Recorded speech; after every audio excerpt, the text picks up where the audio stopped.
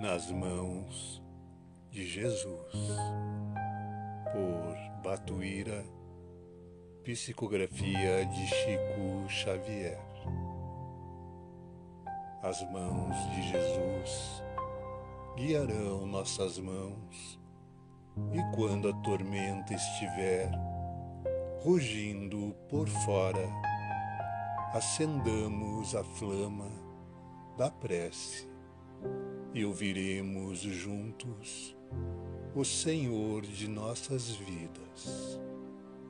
Calma e segurança, paciência e fé viva.